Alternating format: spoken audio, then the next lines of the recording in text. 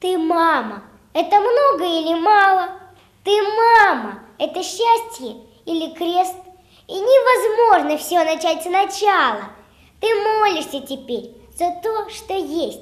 За плач ночной, за молоко, пеленки, за первый шаг, за первые слова, за всех детей, за каждого ребенка. Ты мама, и поэтому права. Ты целый мир, возрождение. И ты весь свет хотела бы обнять.